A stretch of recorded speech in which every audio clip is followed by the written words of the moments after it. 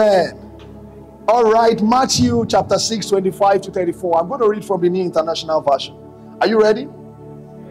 I'm going to preach good this morning. Amen. Glory. The anointing of the Lord is upon me, and I'm prepared to teach God's word, and it will delight your spirit and equip you and empower you for your next level. Amen. Matthew 6 24, the Bible says, No one can serve two masters. Either you will hate the one and love the other, or you will be devoted to one and despise the other. You cannot serve both God and money. Therefore, I tell you, do not worry about your life. Who is speaking there? No, you think it's Jesus? Raise your hand.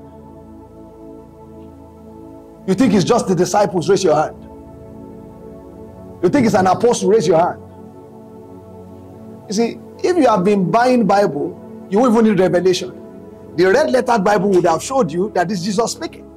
You see, tell your neighbor, buy the Bible. I don't think I need to convince you more. Therefore, I tell you, do not worry about your life, what you will eat or drink, or about your body, what you will wear. Is not life more than food, and the body more than clothes? Look at the birds of the head. They do not sow or reap or store away in barns, and yet your heavenly Father feeds them. Are you not much more valuable than they? Can any one of you, by worrying, add a single hour to your life? And why do you worry about clothes? See how the flowers of the field grow. They do not labor or spin. Yet I tell you that not even Solomon in all his splendor was dressed like one of these. If that is how God clothes the grass of the field, which is here today and tomorrow is thrown into the fire, will he not much more clothe you, you of little faith? So do not worry, saying, What shall we eat? Or what shall we drink? Or what shall we wear? For the pagans run after all these things. And your heavenly Father knows. Look at your neighbor and say, My Father knows. There's a way if you believe God's your Father, you smile. Say, My Father knows that you need them. Now, I'm not going to share the errand with you, so it's over, right? Let me continue. 33 says, But seek ye first the kingdom and his righteousness, and all these things will be given to you as well. Therefore, do not worry about tomorrow, for tomorrow will worry about itself. Each day has its trouble, enough trouble of his own. I'm going to end this sermon where I'm starting from. Bible says, "Do not worry about tomorrow, for tomorrow will worry about itself." What does who does tomorrow's worrying? Did you see that? Who does tomorrow's worry? That, that's in your Bible. So why is it that you are doing a job you are not going to be paid for? Why do you worry about tomorrow when scripture says tomorrow will worry about itself? I do not take somebody else's worry upon myself. Right? All things being equal, if you read on the newspaper and they tell you about a couple in the US that have been married for 30 years and they don't have the fruit of womb and they have done IVF, done everything, you are going to empathize with them. But you are not going to not sleep because of them. Because you don't know them. It's not your worry, it's their worry. Tomorrow's worry is tomorrow's problem. It's not your problem. You worry about you. The Bible did not even say you should worry about you. Many times people are not worried about today. They worry about tomorrow. Therefore, I want to start by teaching you. I want to teach you today on what I titled Overcoming Worry, Fear, and Anxiety. Look at your neighbor and say, Overcoming worry, fear, and anxiety. Some of you are even afraid to say it because it's, it's been hitting you up. Glory to God. Father, we thank you because today your word will come, distill upon our hearts. And after now, we all shall be better people. Thank you because your counsel for our lives shall be established. Thank you because we will see what Jesus saw and will understand the way Jesus wants us to understand. Thank you because we're empowered to live a life even for Him. In Jesus' name I prayed. Please have your seat in God's presence. Overcoming worry, fear, and anxiety. We live in a time where people talk about panic attack. People just say they're anxious. I read it that even the successful people have this trouble. Um, athletes, movie stars, they have panic attacks, they have anxiety problem. So that you being anxious, I'm not sure it is entirely something that is new, but it is something that should not be in the life of a believer. If you want to appropriately kill worry, destroy your fears and anxieties, then you must pay close attention to the things I'm about to teach you now. I mean that you may have heard sermons before, but this one, this particular sermon, will liberate you, transform you, and deliver you. I want to encourage you to take notes. I want to encourage you to take notes, whether on your phone, whether on hard copy. You need this sermon for life and for destiny. Today, we are privileged to take a look at one of the greatest sermon that has ever been preached. One of the greatest sermon that has ever been preached. Matthew chapter 5 and chapter 6 and chapter 7 are actually a sermon. It's just one sermon that Jesus himself preached. So Jesus was on the mountain. With the mountain today that we call the mountain of Beatitudes. The mountain of Beatitudes that is uh, opposite and facing the lake Gennesaret and Capernaum. It was on that mountain that Jesus sat down and preached to his people. And he taught them Matthew 5, Matthew 7, Matthew 8. Interestingly and unsurprisingly, it is the greatest sermon that has ever been preached. Of course, Jesus preached it. And it is the sermon that many people have preached from, and many books have been written concerning it. Today, we are privileged to take a journey even to the mountain of Beatitudes. And we want to see and consider what Jesus told them on that mountain. I want to see wisdom for our life, uh, wisdom for our destiny. I want to be appropriately located which wisdom will work for us in order to live the life Christ wants us to live uh, in this time uh, and in this generation. In Matthew 6, uh, three times between Matthew 6, uh, 25 to 34, three times Jesus said, Do not worry. Matthew 6, 25, uh, Matthew 6, 31, Matthew 6, 34, he said, Do not worry. Why would Jesus give that triune instruction in so little verses? Is because he understands that one of the problems we are going to face in our generation is the problem of worry, anxiety, and fears. Right? If you say you do not have fears and worries, it's because you have grown in faith. but if you have not grown in faith, the other reason why you say you do not have that is because you are lying to yourself. People actually are worried. They are worried about their future. And here Jesus was instructing and saying, Do not worry. Perhaps you've been with me and I've cancelled you before. And I said, Do not worry. And then I walked away. And you feel like that's what they will say. These pastors, they just tell us to not worry. And God will take care of it. Have you seen people come to you and say, God will take care of it? And then they expect you to start smiling after you are crying. I say, God will take care of it. Your future is, is located in God. I say, Amen, Amen. So they expect you to smile now, but you are not smiling. You know, I love the fact that Jesus is not like any of our pastors. Jesus is not like any pastor. He, he didn't only tell them not to worry, he actually told them the benefit of not worrying, and he told them why they should also not worry. So Jesus told them how not to worry, why they shouldn't worry, and the benefit of not worrying. It's not like me that I'll just look at you and say, You should have grown by now. Stop worrying about relationship. How old are you? you are just you are just 26. Oh, you still have uh, you still have your years in front of you. Or when I want to preach good, I say, you know, man is not born for marriage. Your purpose and your ministry. And then you look at me and say, but I'm bored and lonely. And I say, smile, dance. And then you dance, and then the problem is still there. Am I speaking to somebody today?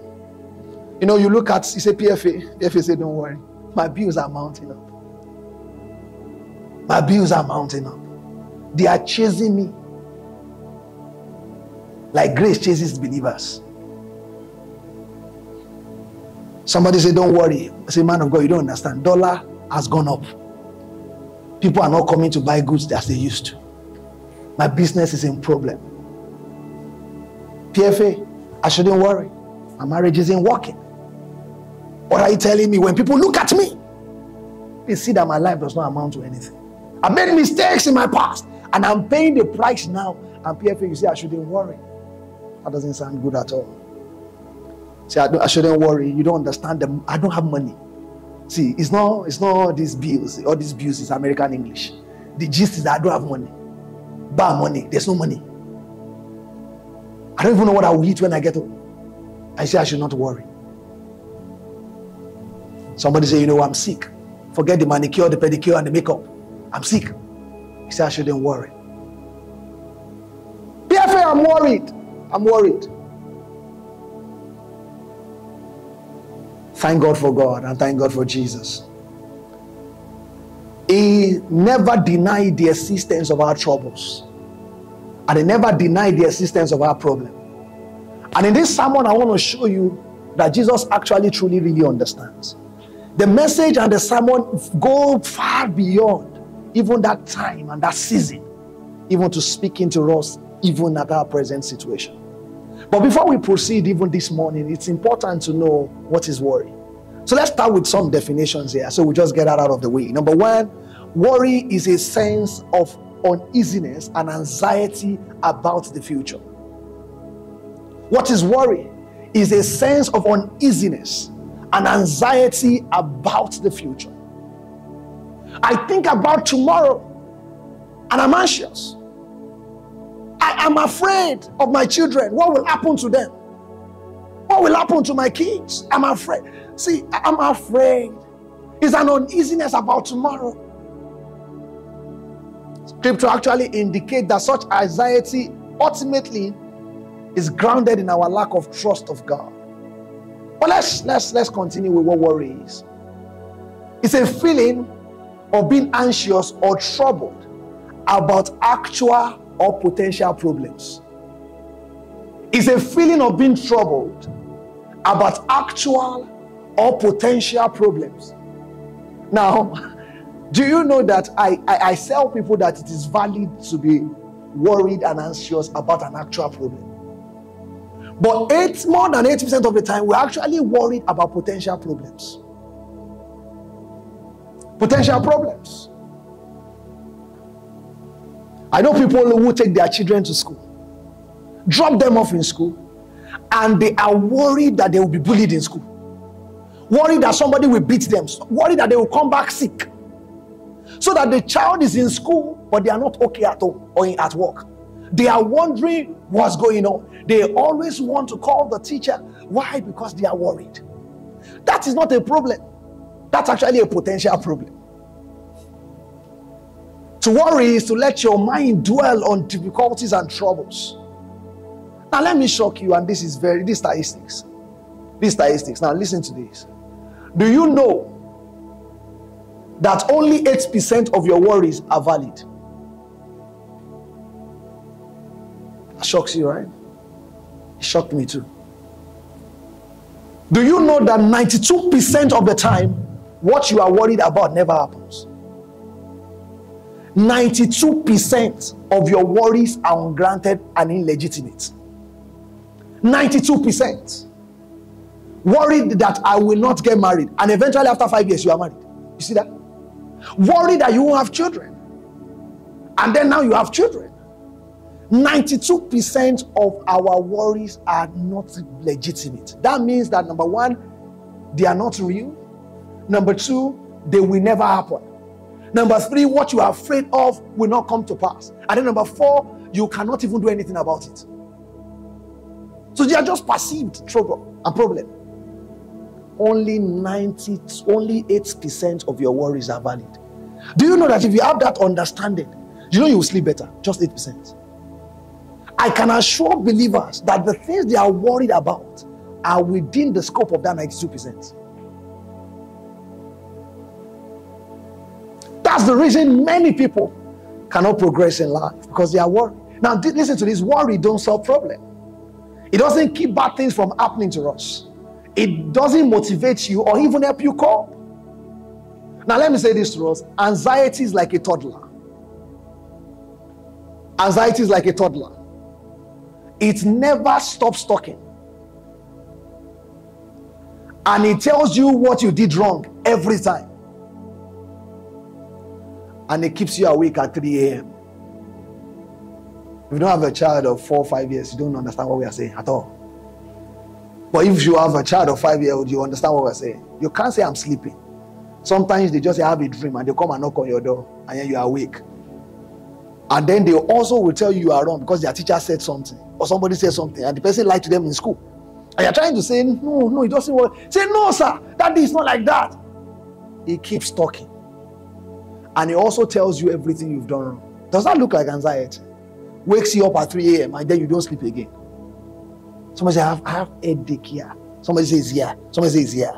You see, it's because the moment something woke you up suddenly by 3 a.m., you couldn't go back to sleep. You couldn't sleep anymore. And that's why we say anxiety is like a toddler. Over time, chronic worry will affect your job performance, it will affect your relationship, it will affect your appetite, it will affect your sleep, it will affect your lifestyle. Appetite meaning that you eat too much or you eat so little. Do you know when you are worried, you are always hungry, or you are not never hungry? You just finish eating, but you are still hungry, or you never even want to eat. One of the two will happen to you. It causes chronic emotional stress, such as a suppression of your immune system. The reason some of us are ever always sick is not demo, is that you are worried. So your immune system that's supposed to be your defense mechanism is always weak. Is weak.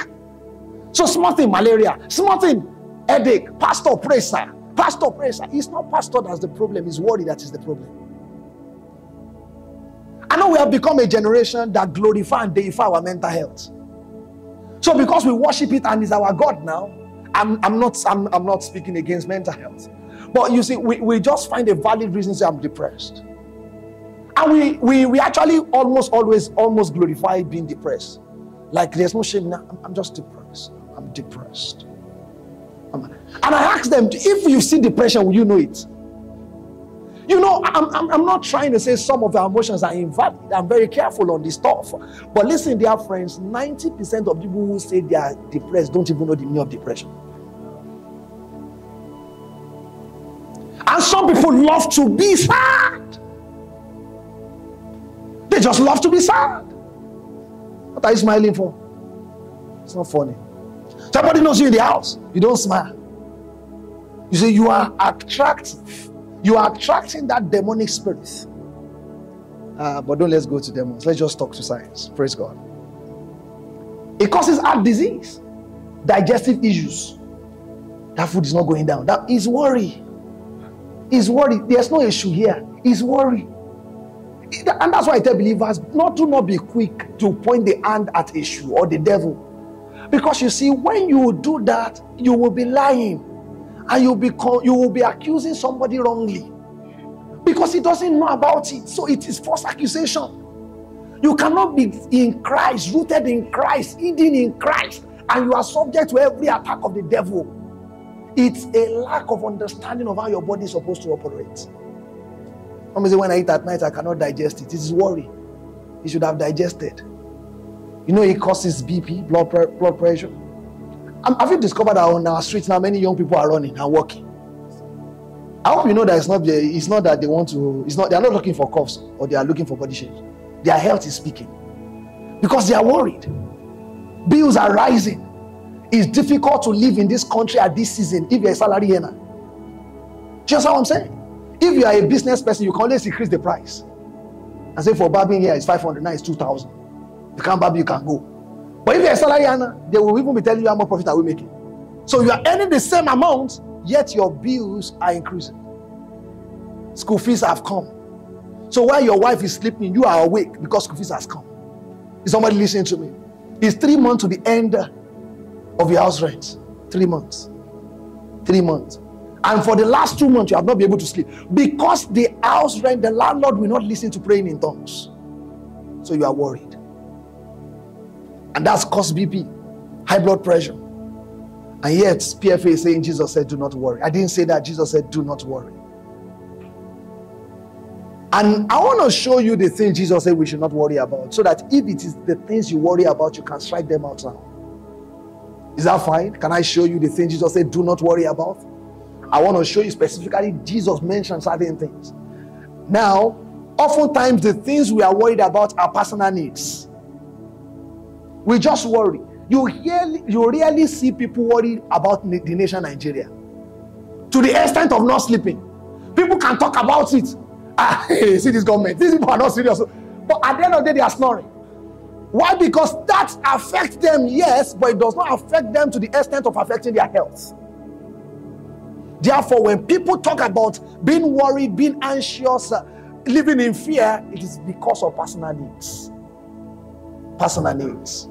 They need to be loved. Abraham Maslow talk about the needs of man.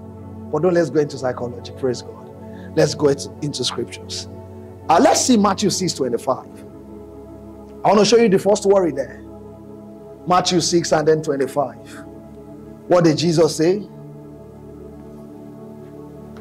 Read it if you find it. Let's just go to our church. Yes, ma'am. Take no thought for your life. Now, so let's stop there. Jesus said, Therefore I say unto you, take not, take no thought of your life. KJV will not kill me. The NIV says, Therefore I tell you, do not worry about your life. That's the first thing Jesus said. Now, that's the biggest worry for many of us our life. Can I define your life to you so that you understand it? What will become of my life? Will I fulfill ministry? Will I attain purpose? Will I be LD at 40? Will the sickness of my father come upon my life? Will this mistake of the past 10 years, will I pay for it in the next five years? Will my marriage work? Will I find love again? Will I find love at all? Will my life matter? Will I make it? Will I fulfill my goals? Jesus said, Don't worry. Do you know that if you can take that off, you can knock off 70% of your worries? Is that true?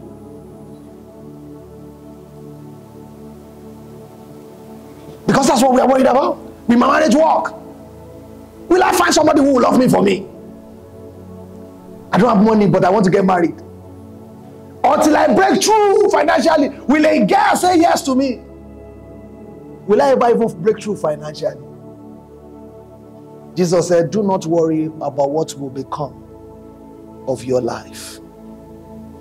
The first three months after we started this church, I would sit at home, I would pray, read scriptures, pray, confess scriptures, pray, confess scriptures. And from Friday to Saturday to Sunday, I begin to, in a way, move myself away from so much human interaction to serious praying and just looking at scriptures. And then I'll read the Bible, I'll pray in tongues, and all through the night into Sunday morning, I would still be confessing and praying. And then I would then come 6 a.m. on Sunday, I would then arise and I would go to the bathroom and say, Oh, yeah, take your bath and let's prepare to go to church. And this fear will click on me and say, What if people don't come? What if they don't show up? And then God bless the day that the cloud is heavy. And then I will say, God, I'm believing that they come now rain. If rain, they won't come. And so fear and worry will stay upon me. And I've been praying and I've been reading scriptures. So one day the Lord said to me, Is it your church or is it my church? Honestly, the way I was feeling, I felt like saying both. It's both of us, church. The way I was feeling, I felt like saying both of us. It's you and me. We both have it. Because I can't be feeling this way. I say, I will not say it's your church. It's both of us, church. And then I said, It's yours. And he said, If it is mine, then let me handle it. And I'll tell you, since I did that, did it now mean that people will come or people will not come? It doesn't really matter. You know why? Whether they come or not, you can't change it. The only one who can change it is God. So I'll stop bothering about it. If I see two people, I preach like a house on fire. If I see 50 people, I preach like a house on fire. I've stopped bothering. Why? Because my word, worry can't change anything. Even if they say they don't have transport and you call them by 9 o'clock I say they have, that's why they didn't come. If you send them transport, they will still not make that service. So why do you worry? The things you worry about cannot save you or can help anything. And I found in scriptures, the Bible says He will keep you. You see, that's the assurance that the Lord will keep you. He will keep your life. He will keep you. And that's that's a joy. And then number two, he said, Mark, can you continue? Matthew 6 25. What did he say again? Not yet for your body. He said, Not yet for your body. He said, Do not worry for your body. What we shall put on. Wait. Say, What you shall put on. He said, Do not worry. The NIV says, What you shall wear. So the second thing Jesus said you should not worry about, he says, Do not worry about what you should wear. Let me say this to you. Jesus really understands modern day pressure, don't you think? Ah, we live in a society that addresses us the way we are dressed. Is that not so? How you show up determines how people value you. How many of you truly have pressure picking clothes to church? Raise your hand. Please don't don't hide. Real people. Praise God. Thank you. God bless you. God bless you. And you're thinking, I think I wore that three weeks ago. I think I wore that two weeks ago. Real pressure, right?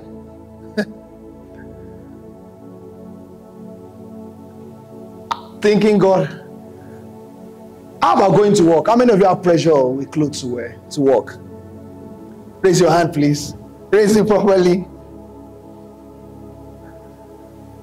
I've got a job. I mean, how so much we confess for that job and believe God for that job. And then she got the job. And then our problem became what clothes will she be wearing every day? You see how the answer to one problem will become another problem. Do you notice that? How the answer to a problem becomes an opening of a door to another problem. Lord, I want to get married. Father, I must get married. Eshula Makapa, confess, pray. Now you are married. Now that man, you are not praying again. Lord, how do I cope with this guy? Now you have a bigger problem. You are tired normally when you are tired and you came home like that, you sleep.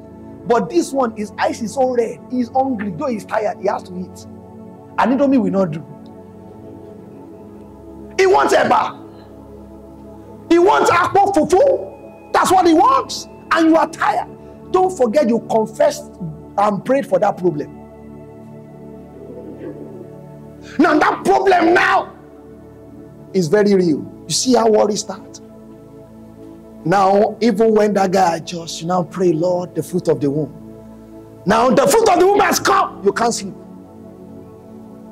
Because that child is always waking up where others are sleeping.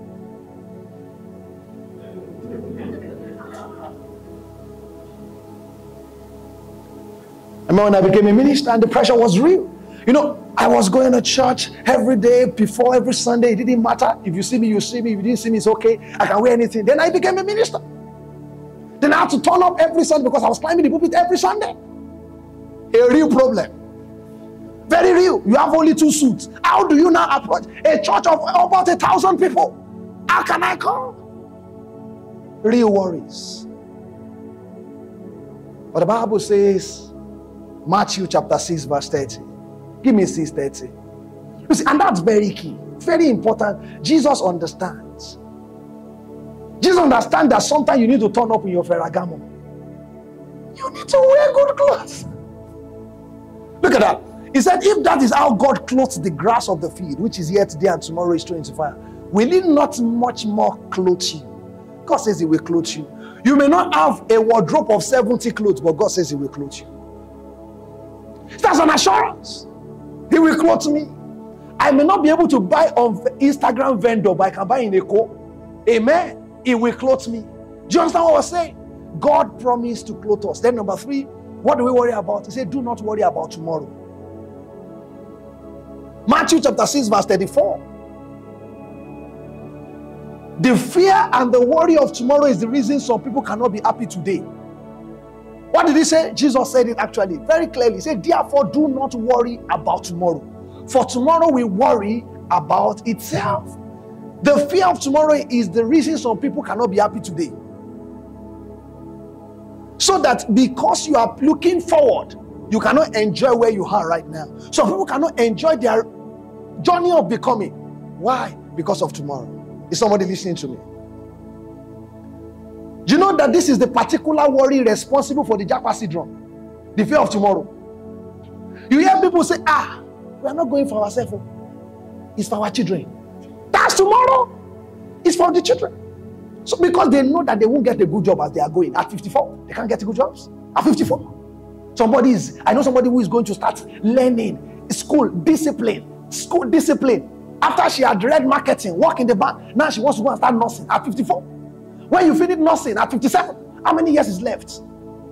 That kind of person is not thinking of making it, he's thinking of the children. The fear of tomorrow is why many people sell their houses to Japa. The worry of tomorrow. Pastor, sir, you can't blame us. You can't blame us. We thought Jonathan was bad. Look at Boo Boo. Now we thought Boo Boo was bad. Look at Boo Boo T. See where we are. Have you ever been enjoying a moment and then suddenly you remembered your unpaid house rent? You are watching Netflix, just flixing it away. And then suddenly your phone rang. Then you looked at it. It's OPay calling you. PalmPay calling you. If you don't understand that, leave it. I, I thank God for your life. But when they start calling you like that, you know they're not checking up on you. What's going on? That moment, you just lose the joy of that moment. Have you been enjoying a Friday moment? And then you remember your interview on Monday, and fear comes and grips you. You remember an exam, and fear grips you. It was Charles Spurgeon that said, Our anxiety does not empty tomorrow of his sorrow, it only empties today of his strength. Listen, God will take care of it. Worry doesn't change anything. God will take care of it. And then number four, Jesus said, Do not worry about what you shall eat. God, Jesus understands. He knows a foodie generation is there. He, he has something for the foodies. He said, Listen, don't worry about what you shall eat. Matthew 6 25 to 26. Now, this eats differently if you are hungry. It eats differently if you are a foodie also. It eats differently if you are a shawarma lover. He said, Have you ever sat down jejely in your house? You were not looking at anybody, you are even fasting. And the aroma of chicken being fried just came at you. It was not your fault. So it aroused in you a different thirst and desire. Jesus said, Do not worry about what you shall eat. Is it cool that Jesus thought about food, people? Is it cool that Jesus thought well about food? I think it's a good thing. I know you have very spiritual people, some of you don't eat at all. But I, I think it's good that Jesus thought about pounded yam and those of us who love shawarma and all of that. I think it's a lovely thing. Jesus said, Do not worry. Do not worry. Somebody saying, PFA, you don't understand. There's nothing in my house. I don't have to know. Jesus said, Don't worry. And then number five, he said, Do not worry about what you shall drink. Matthew 6 25. And I, I, I think that, listen, Jesus is just a cool person. Actually understand these things. I don't know whether you understand what it means to drink. Have you ever been in the heat of Lagos? And the and the sun is just high. And even though you are in a car, the car does not have AC. And even though the car has AC, it cannot be on because there is fuel situation. That's how I'm saying. So you you you wind down, and then the heat kept coming, and suddenly you saw somebody selling water. Those water that looks frozen, you know, they are frozen like ah. You just desire it. It's like the, the, the best thing in the world. Jesus said, Don't worry about what you shall drink. What you shall drink is important, but Jesus said, Don't worry. I don't think you get it because you don't look at statistics. Do you know that I had to say, ah, this is very important? But the Lord said, Go and check things out, then you understand how important drinking is. Then I found out that do you know that annually Nigerians spend 2 trillion naira annually on soft drinks? 2 trillion, 2 trillion. Do you know if you want to plan your wedding, one of the things they will give you that is the biggest is drinks water, coke, malt, and if you are rich, juice. And if you are not born again, beer. No, I won't, okay, wine, yeah, wine. That- that's it. Wine per table. and you don't want them to fill it at Eco. You want the original wine. Then you have to pay money. He said, Don't worry about what you should drink. I, checked that further and I saw that Nigerians spend 900 million naira annually on beer. With Gabasonia Vadialia Kaparua. I thought that was deep. You don't know drinking is important until you have a party to plan. Jesus said, Don't worry. Why? He said, God shall supply it. Don't worry about what you shall drink. And I feel I have the permission of the Christ to have the sixth one. Especially because I'm preaching to people on the island in Lagos. I think I have the permission of Jesus to say, Do not worry about where you shall live. Am I speaking your mind? Am I speaking your mind? Worry doesn't change anything, it, rather, it amplifies our problem. Listen, by worry, we cause a permanent damage to a temporary problem. For a temporary problem. Anxiety does not come from thinking about the future, but wanting to control it. The fact that we have no control over the future is our problem. Actually, many guys are not afraid of not getting married. Can I say that to you again? Many guys are not afraid of not getting married. They don't worry about not getting married because they feel they control it. Many ladies actually are worried about not getting married because they feel that they do not have control over it. That man thinks I'm the one asking you out. When I am ready, I will ask somebody out. If you say no, I'll go to somebody else. But the sister has been watching and looking. And he's saying, PFA, you don't get this. I wish you do. The other guy who I thought was going to ask me out after like three years of just waiting and loving up on each other in what they call close friendship. Eventually, he has sent me a WhatsApp message with an IV to his wedding. PFA, PFA. Anxiety does not come from thinking about the future, but wanting to control it. Except we let the Lord drive the car, we will not stop being anxious. Except we learn to surrender the control to Him, we will not stop being anxious. Anxiety is us wanting to control everything about our life. If you have money, you are never going to be disturbed about paying house rent. Why? Because you feel in your account is the control. But if there's no money in the account, then there's no control. There's a problem. You are anxious about your relationship with your wife because you don't understand that woman. You can't control her. So you are worried. You are worried. What is the impact of worries in our lives? Number one, it cripples our faith. Matthew chapter 6, verse 30. Worry cripples our belief. We have a little faith. Worry breeds on our doubt, breeds on doubt. The more you doubt, the more you worry. Listen to this. You cannot be bogged down in the land of worry and expect to enter into the fullness of God's promises. Where faith, where worry abounds, faith diminish. Where worry abounds, faith diminish. Worry is a faith killer. If you don't stop worrying, you will never be able to walk in faith. It's a faith killer. Listen to this. Worry is also a statement of faith. That I believe in contrary situations and conditions. That's what you're saying. That's why you worry. That that situation is bigger than me and God. That's why you worry about it. Where worry dwells, darkness rests. Where faith dwells, light rests. And that's the definition of depression. When you talk to people who are actually going through depression, not these people sounding depressed, they will tell you they feel like they're in a shit hole. I'm sorry about that word. But they say they, are in a hole and it's a dark space and they don't not see any light. Why? Because where doubt dwells, when people start doubting your love for them, they stop trusting you. But when light dwells, faith also dwells. Is somebody listening to me? Therefore, the more you build your faith, the more you are able to stamp out fear. So, fear and faith are two sides, even of a different lane. You cannot walk in faith and walk in doubt, or walk in worry, or walk in fear. It will not work. Number two, what does faith do? The impact of worry, sorry, is that it limits our resources. It is a sign that you are looking only at your present circumstances to supply all your need. If your resources can't provide or solve your problems, it is legitimate to worry.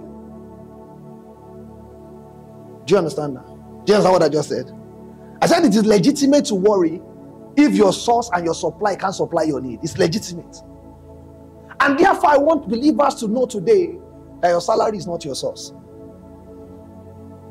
So your salary meets your needs, but it is not your source. Your source is God. So that thing may be bigger than your present salary, bigger than your present income, but it is not bigger than your source. Why we worry is that we limit our life to the presentness of our situation. I don't know where I'm going to live, but I'm not going to live on the road. I don't know how he's going to do it, but he's going to do it. A brother in Lagos, a very deep, a very good, good brother to me, called me and said, "You know what? They've given me quick notice." I said, "That's not a problem." He said, "You don't understand, sir." I said, "I understand. It's not just a problem. You know, I mean, I don't see problem anywhere. Praise God." I said, "It's not just a problem." He said, ah, "We don't have the faith you have." I said, "That's not the problem." He said, "Let me tell you, it's not that they are giving me quick notice. They have taken me to the court. So the court has actually just given me two weeks to either pay or get out." I said, That's not the problem. So we are going to pray. And then we prayed, and I said to him, God, you are either going to provide the money or you are going to touch the landlord to extend the date. But one of it has to happen. Because that's the two solution I can find. And you know what? He called the landlord and said, Sir, I can't find the money. Landlord said, call the, call the lawyer. He called the lawyer. He said, I can't find the money. I need extension. They gave me extension. He called me and said, "Ah, they took me to court without even telling me. Now they are giving me extension. I said, because God said he will give you extension. He said, what will now happen? I said, God will provide. God knows that our your faith cannot get the money without extension. So he's extending so that he can provide. See, you have to understand that worry doesn't change anything. If people don't like you by worrying, you can't make them like you. Accept it, they don't like you, let them go. That's your problem. Live your life. You worry what they will say, what they will think, what they will do. Your life will never amount to anything. Stop worrying. God is my source. Can somebody shout in this house? God is my source. Let not the anxious, the Lord told me this two days ago. He said, Let not the anxious soul say, I am walking in faith. For faith is resolute steadfastness. The anxious soul cannot say, I'm walking in faith. No. When anxiety comes, faith leaves. Let me say, let me tell you what word worry says. Worry says all can go wrong. That's what word worry says. It says all can go wrong. I can get to work today and they will sack me. I don't, know why people think like that. It's a big problem. I can have carryover as a student. What if I don't graduate? Why you think? Why, why, why, why don't you think? Why, what, what if I'm the best in my class? People don't worry about that, being the best in class. You know, those who are best in class never worry whether they will be best. But those people who are they worry whether they will graduate. I was in another level and a lady came to me and said, I told me, some of the guys around me. He said, ah, that you're in another level does not mean you get to 200 level. No, no, no. People leave this school. It doesn't mean anything. In fact, some people don't announce it. The wise, they don't announce that they have admission now because they can send them away. So I began to go with that. Hey, hold on, Shanu, God will help us here. I began to go like that. Then I met a sister from my church. And then I told her, he said, What kind of nonsense is that? You should be thinking of two one of first class. What are you thinking about like that? And I thought of it. I said, Something's wrong with you. You are thinking, are afraid of being making it. Why are you not thinking of buying a car? Afraid whether you ever find love. Why are you not thinking of you are privileged? Somebody's privileged to come into your life to love. What he says, all can go wrong. Faith says, it shall all work out. It shall all work out. I don't know how, but it, it shall work out. God will work it out. I love that song. One thing I know, one thing I found. God will work it out. I don't know how He will, but I found it. He will work it out. How He will work it out. You are you are looking for 200,000, you want to die. Somebody's looking for 200 million. Remember, it reminds me of a story in a church. True life story. One guy was praying, Lord, do it. Lord, do it. Father, I need this money. Do it, Lord. And then he mistakenly said, 50k, I call you forth. There was a man there. He was believing God for 2 billion. The man called him, gave him 50k, said, Be going, let us face God. You see, don't waste our time here. The 50k was real problem to him. He said, Oga, you are disturbing me and God. Let him be able to answer people like us. You just take my lunch here. You see, we are looking for 2 billion. What you are thinking of is not somebody's problem. It doesn't make it illegitimate. But it just means that if God can take them there, He can take you there too. Number three, what does it? What happened? Because of what? Lack of peace. Philippians chapter 4, verse 6 to 7. The Bible talks about the peace of God that passes human understanding will garrison your heart and your mind. Say we should pray. Listen to this. Peace is the first thing that goes when you worry. The first thing that leaves the window is peace. And if the problem is not dealt with, our worries get worse and worse. Listen to this without peace, you cannot be creative. Without peace, you cannot walk in faith. Without peace, you cannot love. You can, without peace, you can't have good health. So, the first thing that you need to ascertain for yourself is peace. Listen to this. I, I was thinking and meditating on this, and I, I want to say to you that peace is the most underrated resource to any man. Listen, dear friend, if you still have peace, even if you have money, you can still make it. It's the most underrated resource available to man. For everything thrives in the atmosphere of peace. Everything thrives in the atmosphere of peace. And yes, what it takes that from you.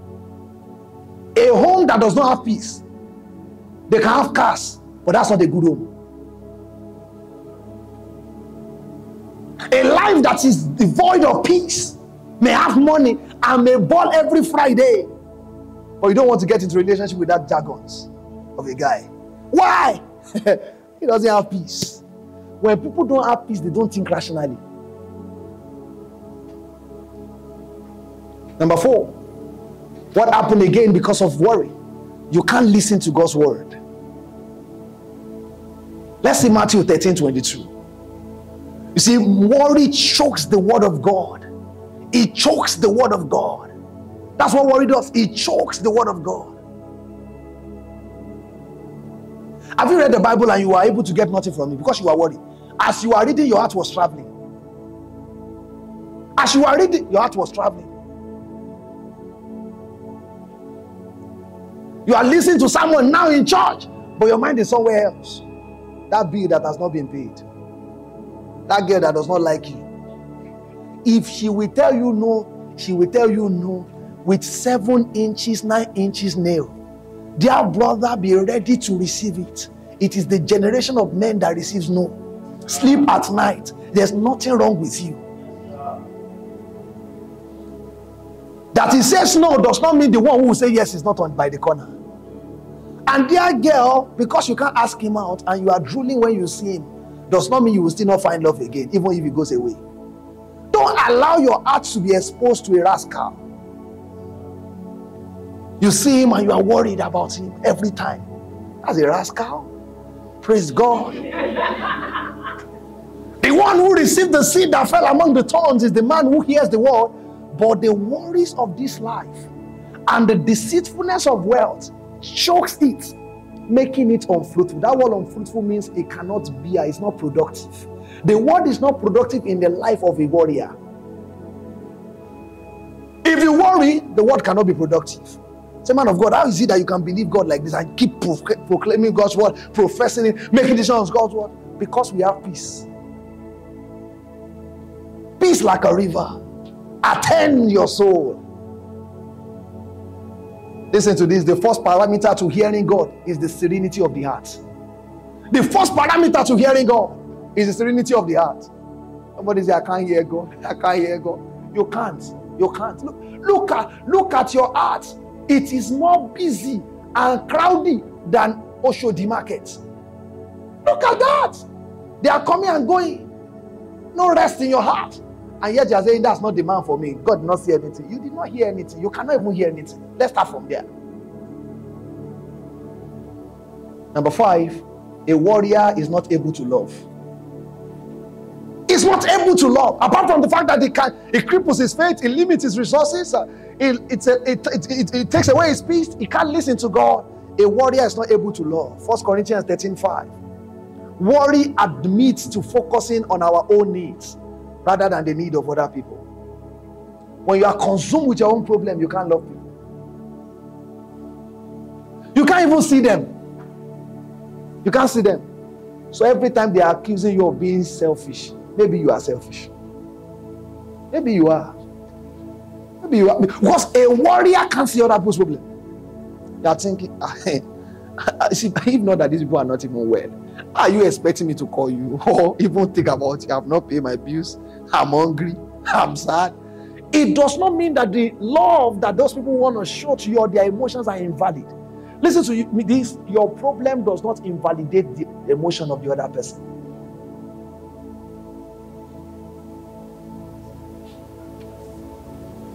Therefore, it is important we care.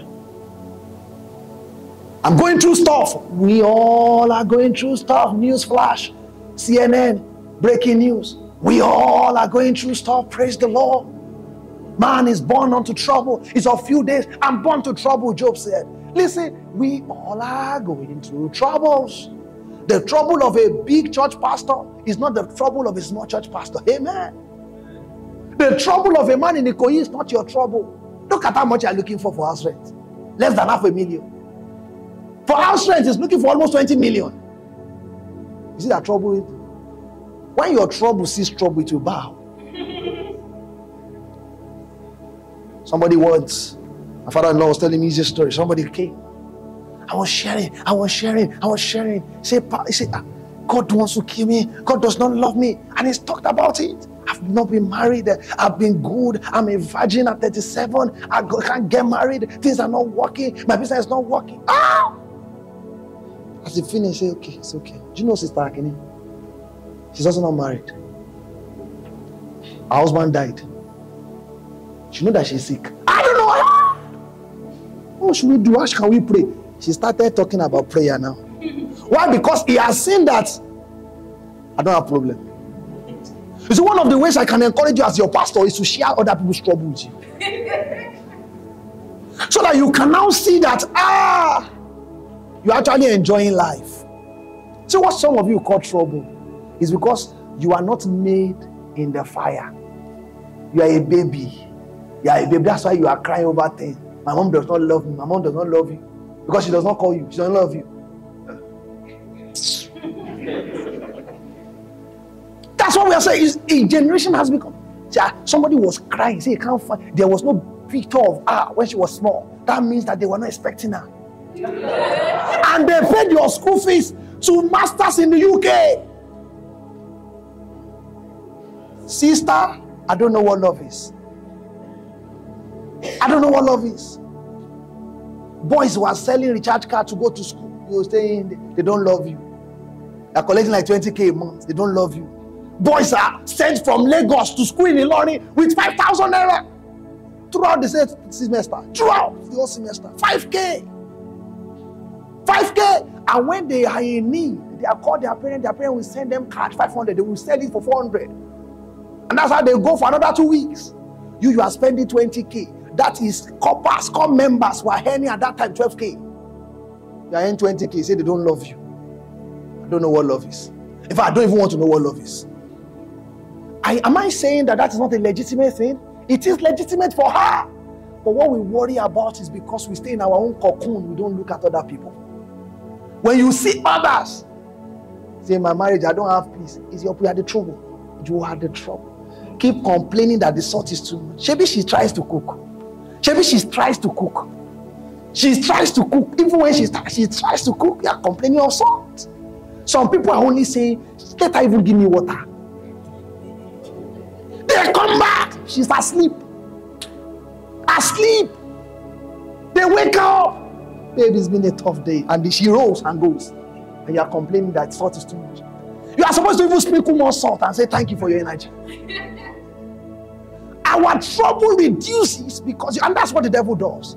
He tries to amplify our problems to make us believe that we have the greatest problem in the world. You don't, baby. You don't, brother. I remember when we started the church and then I was having a conversation with a pastor. And I was talking about how that this man now was, he has a church now about 2,000 people. And I remember that the first five years of their church, they were less than five, they were less than 30, 40 people in the first five years of their church. And now they're so I was talking to him and I say, Oh, you know, people are not really coming. he said, But he said, How are you now paying the rent? I said, The Lord sends that. He said, I Don't you think that's something to thank God for? Why are you now complaining? The supplier supplies the money to pay the rent. Right? You are complaining that the people, are you the owner of the people? Shebi is the one sending it. So what's your trouble? You see, many things. You know, it could have been worse. If people did not come, I can't pay the rent. You know what you will do? You shut down and go home. the people that can make it will make it. Those who can't make it, that's the end of your ministry. So that the ministry continues is something God for. Can I say something to you? The fact that your ministry continues, that's your life. Your life is your ministry. The fact that it continues, it tells me there's hope for you. It tells me there's hope for you. I'm trying to say this is how to deal with worries. It's not big because it's not bigger than God. Can I equip you very quickly as I close here? So Jesus said not to worry. If you are not going to worry, what are you supposed to do? Number one, fill your soul with information and knowledge on the faithfulness of God to you and other people.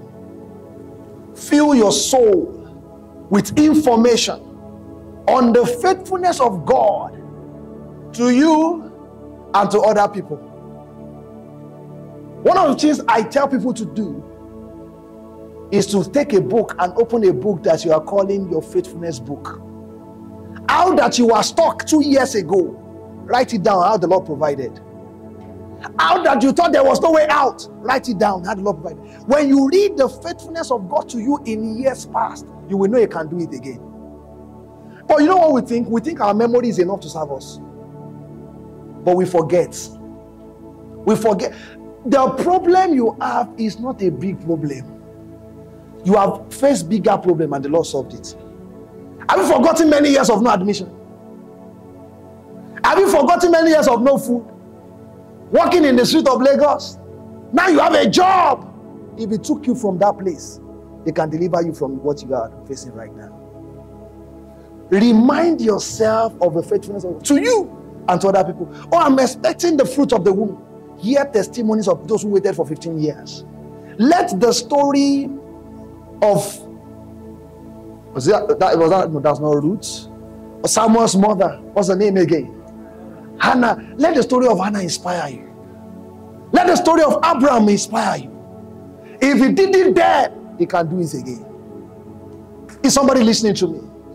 The reason we share testimony in church is so that when you find somebody who is who has just gone through what you are going through, you know he can do it for you also.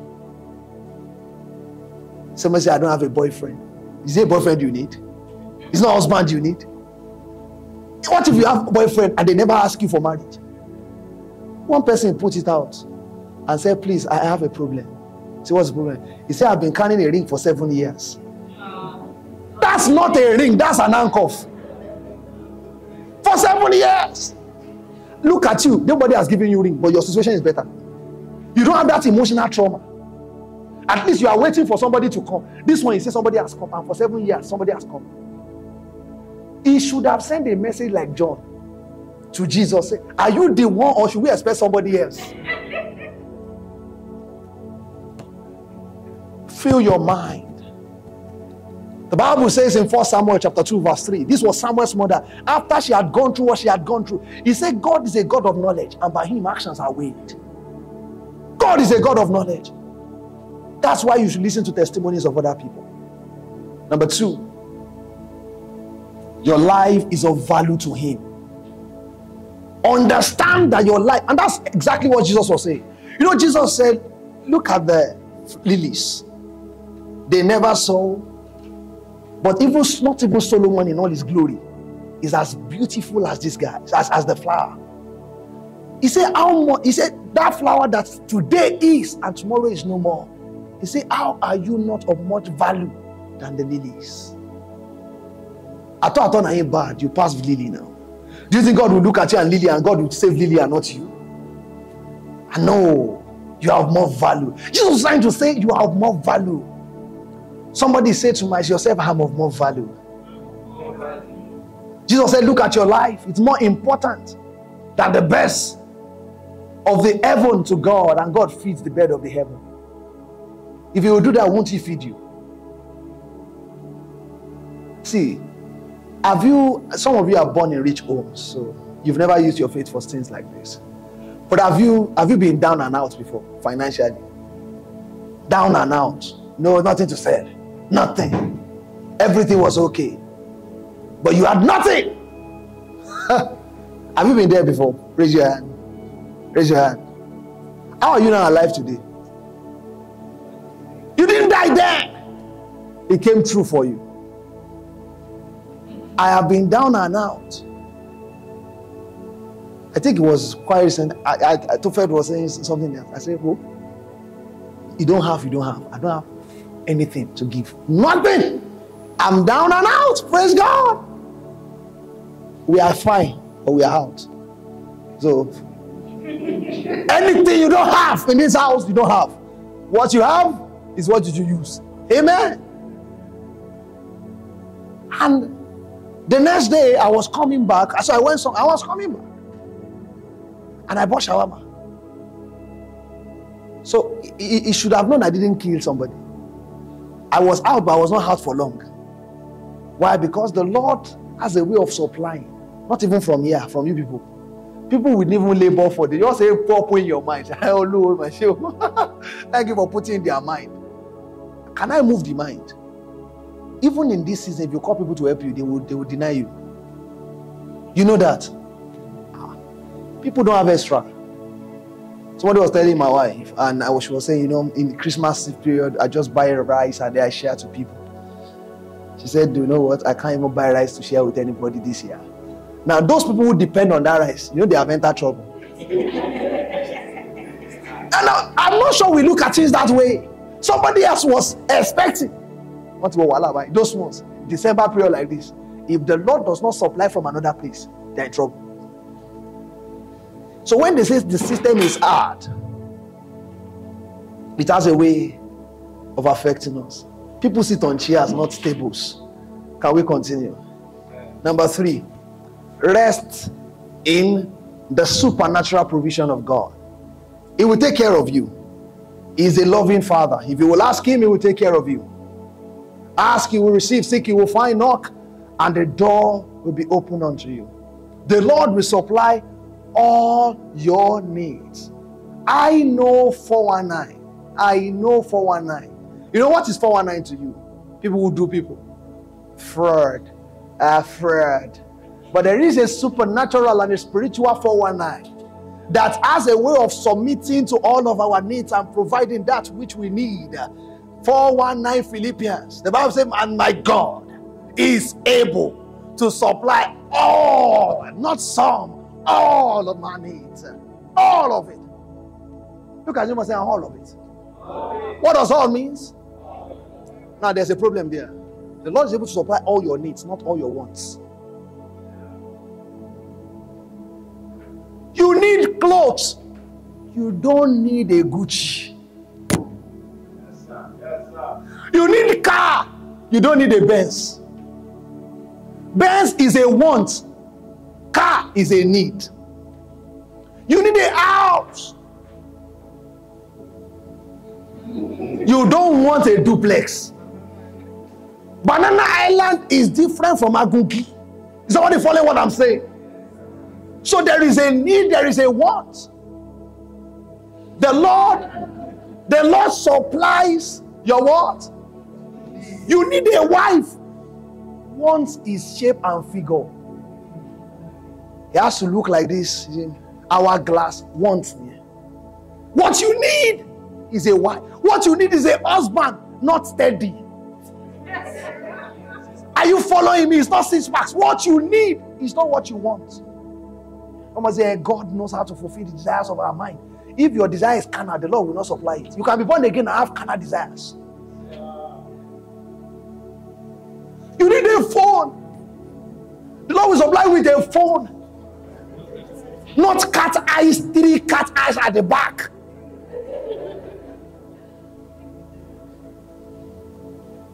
iPhone. I saw one. Which one they just released now? Oh, praise God. I'm so far behind. I'm so happy. I'm not worried. I'm so good. I'm so. I thought I was far behind until I met somebody with seven.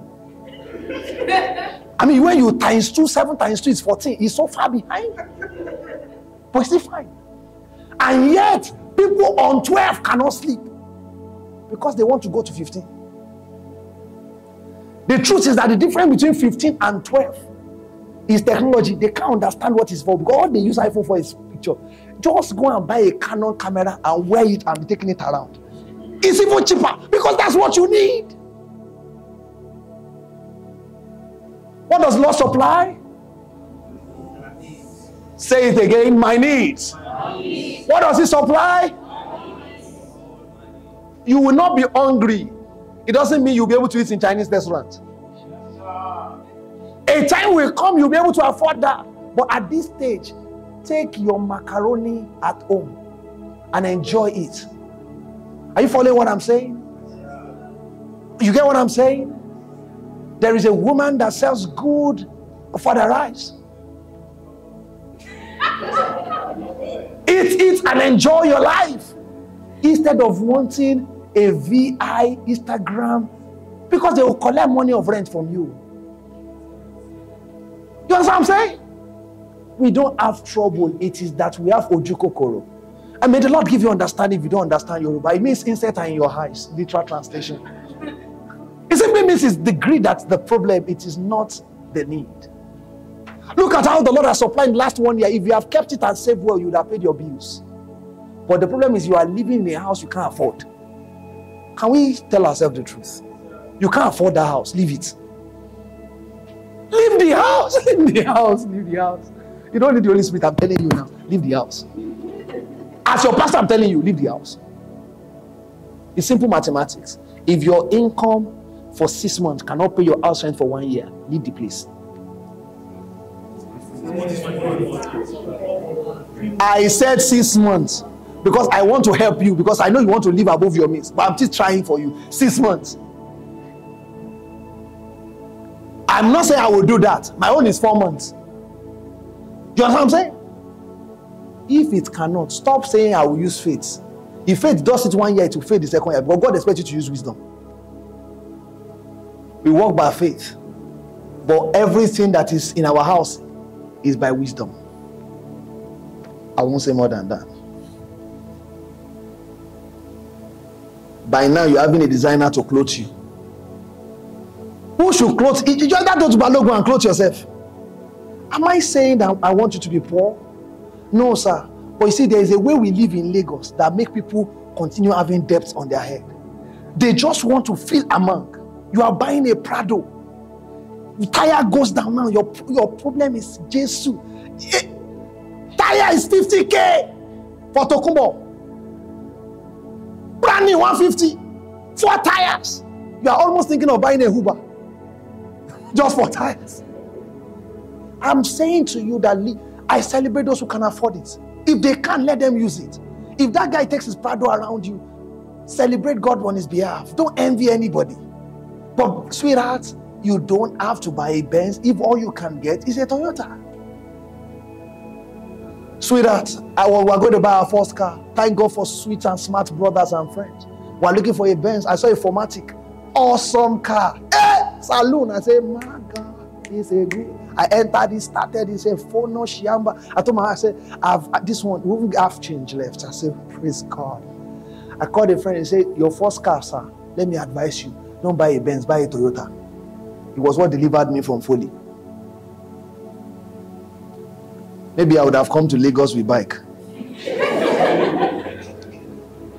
Number four, live a life of prayer and faith. Believe in his supplies. Worry is a signal that faith is failing. It's a signal that faith is failing. When we don't trust him enough, our heart starts to shake. Will I get married? Will I have my own children? will I ever graduate? I remember the story of a man that is called George Muller. Now I have to stop this. I remember the story of a man that is called George Muller. George Muller is one of the God's general. George Muller lived in a time in the 1800s in a place called Bristol. And he was called to help the homeless girls at that time because that time homeless girls were taken into certain houses where they were just beaten, defeated, and it was a lot of trouble for them.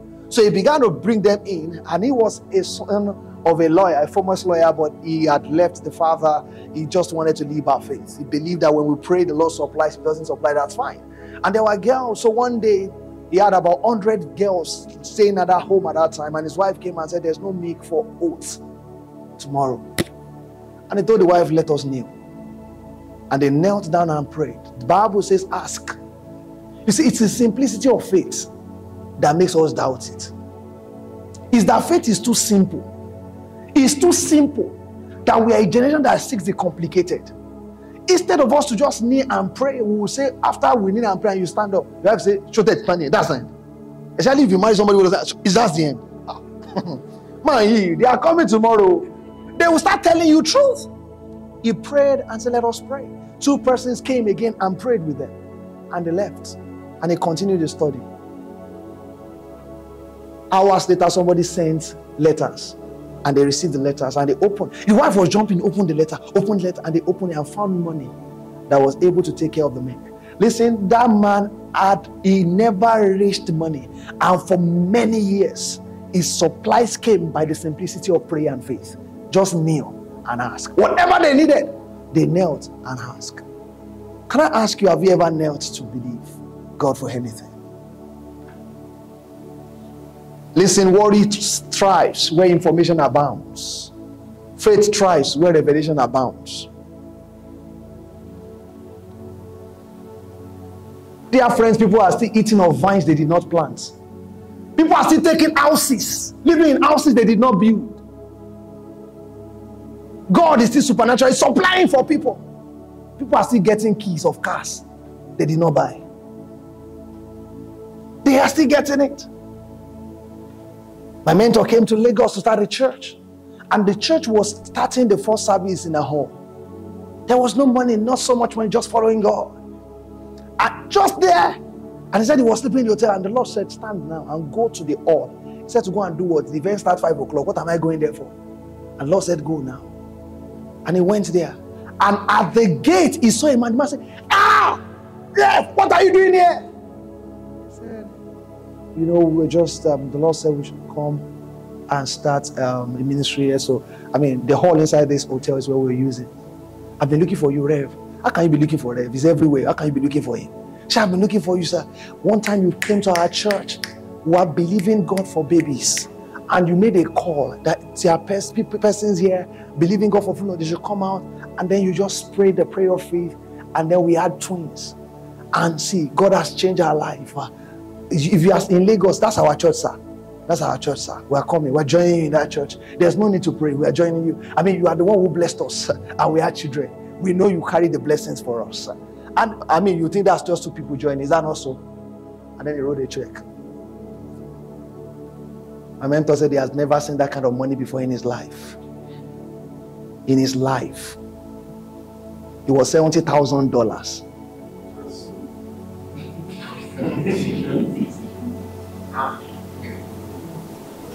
Be real, have you seen $70,000? They stopped, they stopped thinking for rent. They started looking for place to buy.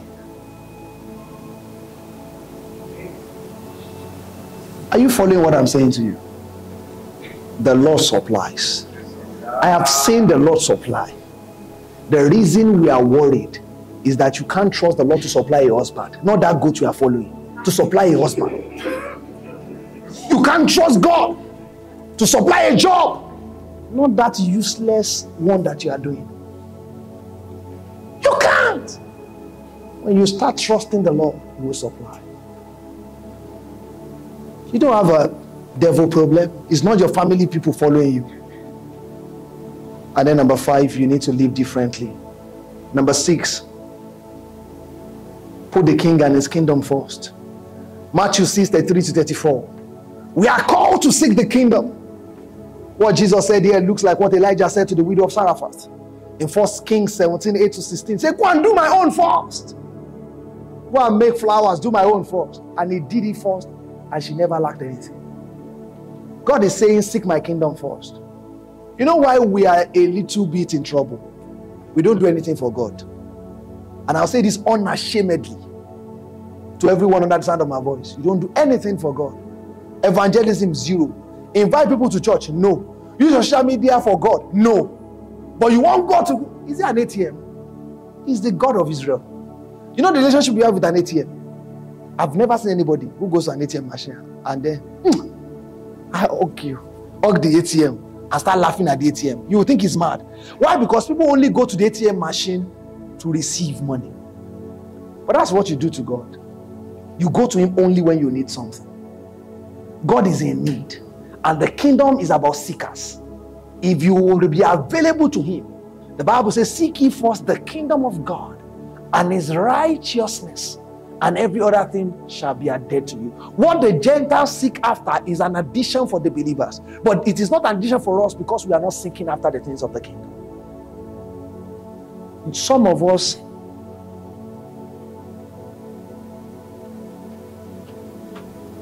are more stingy than the us in front of National Theatre. Have you seen the us in front of National Theatre before? Ben, you know the us. Yes, you know TBS, you know the us. You see how the us is? It's fully like this. It is easier to collect money from the devil's hand than to collect from you. Offering, bar. Tithe, no. You have doctrine for everything. But when it comes to paying for NSC, you don't have doctrine. When it comes for you and the babe and them gangs to spend money, no doctrine. But when it comes to the king that advances the kingdom, you suddenly don't have time. You suddenly don't have money. And then you suddenly don't believe in it. you have heard them say, I don't believe in it. When people tell me they don't believe in it, I, I just sometimes feel like, I say, just tell us you are national theater donkey. I busy us now. Don't you don't believe in it? What do you believe in? Do you know that I was teaching us on financial stewardship and said that the way you spend money tells me what you believe in. The way you spend money tells me what you believe in. All of your half of your income is spent on entertainment. That's your God. Netflix subscription, DSTV subscription, cinema. Somebody is looking at. Cinema, yeah, data, right? You see what you spend money on? Data. That's your God. Praise God. Fuel to watch football generator and all of that. Behold your God.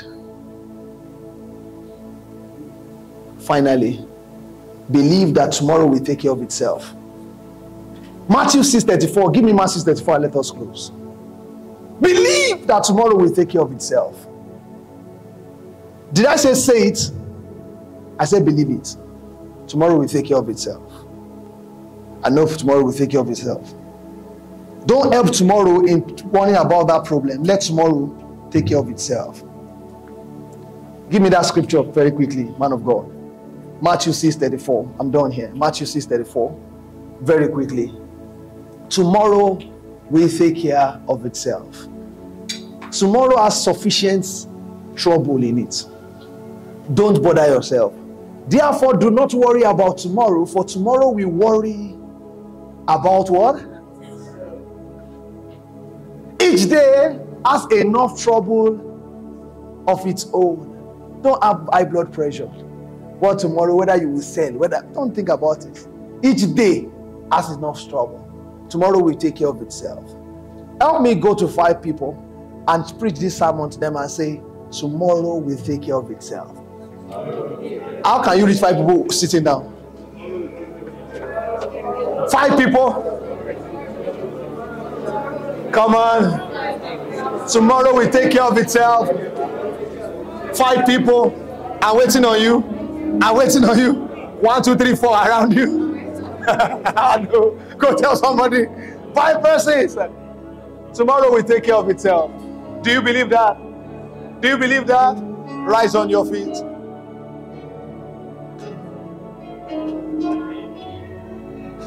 Uh-uh is worth living just because. Sing it one more time.